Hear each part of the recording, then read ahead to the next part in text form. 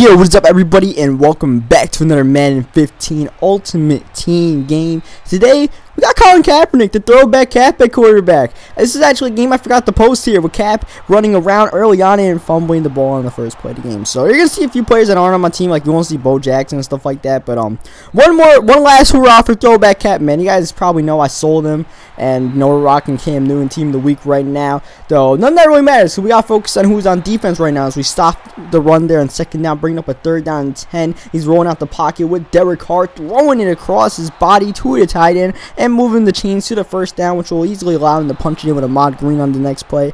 And our opponent capitalizes on our turnover by getting a quick seven right there. So that hurt. I mean, yeah, it's not the way you want to start the game, man. So we're gonna try to be a little bit less reckless. But Kaepernick, but Kaepernick gets sacked right away. Check out the block shooting my opponent had. My dude was an expert D-line user, man. He was everything that's you know that highlights Madden 15. Let me say that at least. You got the D line block shedding. You got the um die tackling, the flashlight tackle. He was a pretty good expert at that, and that was hindering me a little bit throughout the game as we find Julio Jones. Though the one thing about him was he was just playing basic cover three the entire game. He didn't really come out of that, kind of like the way I play cover three most of the game. That's what he was doing. A second down six comes up, we run a counter to Jamaal Charles, but the run game was just absolutely dead. No matter how much I tried to get the run game going or anything like that, it seemed like Jamaal Charles was just a non-factor. Though finding a slot receiver that worked as you find Steve Smith Senior there for the first down. Next play, Kelce again the first down. I've had this Kelce a tight end for a while, man. I don't know, just he, he seems like a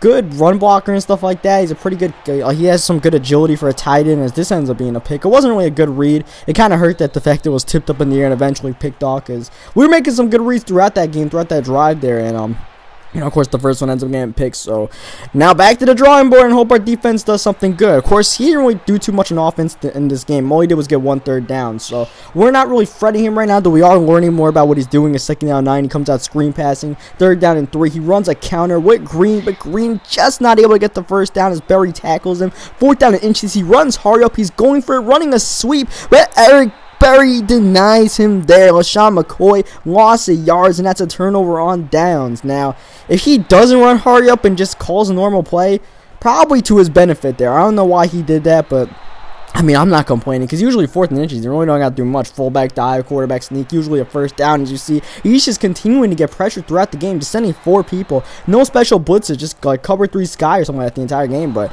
it was just killing me, and I could not run the ball, and it was frustrating. I'm like, this is the most basic thing that's killing me in this game. I can't really move the ball much. So eventually, you know, I'm just gonna have to ditch it and try to go with Kaepernick. But third down and 15, I take a deep shot for no reason, ill-advised. Could have been picked off, but it was weirdly swatted by the free safety. So that's ended up being a field goal for us. I'll just take the three points and hope we can play some defense. Once again, we really haven't seen too too much of what he's done. He got stopped in the fourth and inches, so you know he's. I, I realize he likes to run sweeps and counters. That's the one thing. He's not really running inside. It's everything's being bounced to the outside. Now he's coming out running strong power with Green, and Green is breaking into the second level with under a minute left to go. That's what we didn't want to happen. We're just trying to get this game going into halftime, not give up any points. But here he is moving the ball, trying to get at least a field goal to make it a full touchdown game. Second down 12. He comes out play action, but we get some good pressure of our own. That's going to be a sack and bring up a third down and super long. He's trying to roll out the pocket with Derek Carr, trying to use that to it as his advantage, but he's got absolutely nothing.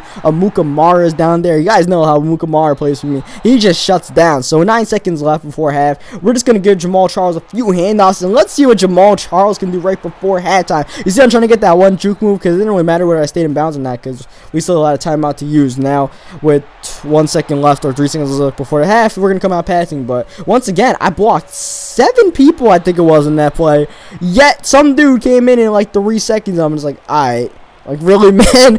can I get at least a second? Even if I threw that ball, it's going to be an incompletion. But still, like, can you guys help my confidence out a little bit? As he stumbles, but not enough for the first down. Third down and two. He comes out with a counter run. But J.J. Watt block sheds off and prevents the first down. Once again, he runs hard at fourth and one. This time, he comes out passing and barely gets it under Kuechly. I would say over, but that's actually under Kuechly to Greg Olsen for the first down. Very risky throw there for a fourth and one. Once again, you don't really need anything too tricky on fourth and one to convert, but but um, I don't know. He was overthinking the game a little bit too much. And, you know, I think we were both overthinking the game, me and him both, and that's the reason why neither of us are pulling away right now. But he is trying to simplify things by chewing the clock out on us. He put on chew clock after getting that fourth down, and he doesn't really want us to get the ball. He already has the lead. He's trying to make it a two-possession game here by getting a touchdown, as well as killing up all that clock, or just kill all the clock without even giving us the ball back. Though He's going to give us the ball back after he gets this touchdown right here, breaking the Amukamara tackle. Ahman Green in the end zone, and we're down 14 to 3, and this game is looking absolutely disastrous. But the thing is, we haven't really been too bad offensively.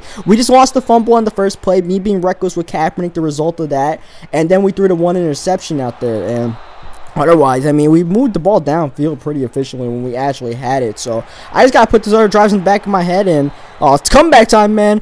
I, I could play like crap, but once I'm down a bunch of points, usually it wakes up something in me. Unless I'm just getting knocked on my ass with these blitzes, I'm usually able to find the open receiver. Though they need to catch the ball, as ODB's not able to drop it there, or um, catch it there. He drops it. Third down, Nate. Big third down. Everything is four down territory here as Kaepernick breaks his sack attempt, runs away from a second one, and then throws it on the run to Demaryius Thomas, who's juking defenders all over the place, place and moving it all the way to the six yard line. 44 yard gain. A play that could have easily been a sack. Next play, Travis Kelce gets the touchdown here. Epic music. It's a one possession game. We're going to try to make it a field goal game, and we do. Finding Kelce. Finding a nice little spot in the zone coverage there and making it a field goal games where if we get a stop, all we need is a field goal to send this game to overtime. First, we need to get that stop though.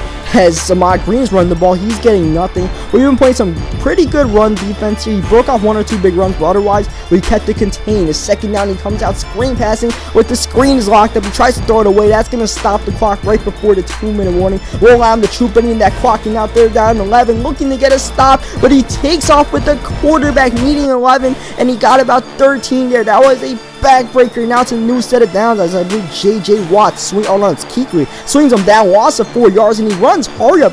Instead of chewing the clock, he just runs hurry up, and he throws a pick to Richard Sherman on the next play. And look at Sherman trying to return this one. Even though he gets brought down, we are in field goal range. What a bonehead mistake. Instead of just running clock, they're running the ball. He runs hurry up, comes out play action, and gets baited by Sherman there, and we are in business. We are already in field goal range, but we're thinking, let's get that touchdown real quick. Let's just win the game and break this guy's heart. Third down and one. We running up the go with Jamaal Charles. New set of downs, only 15 yards away from winning this game. Under a minute to go.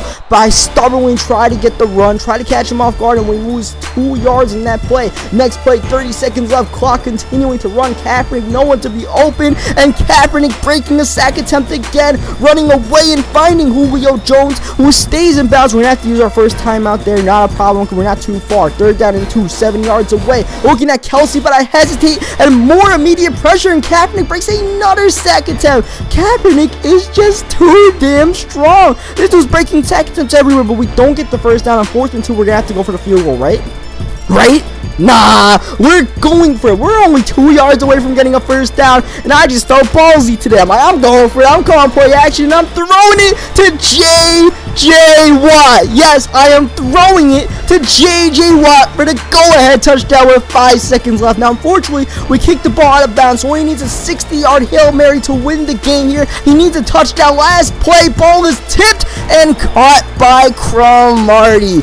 This game could have been going to overtime, and a lot of people would have sent to overtime. And normally, I would have sent to overtime, but I don't know. I just felt confident that we passed the ball. We find someone open, and J.J. Watt not only got us the first down, got us the touchdown. So, uh, my opponent did what he had to do to win. He was bringing some random pressure on me with Kaepernick, which is breaking tackles like crazy. We ended up coming with that win somehow.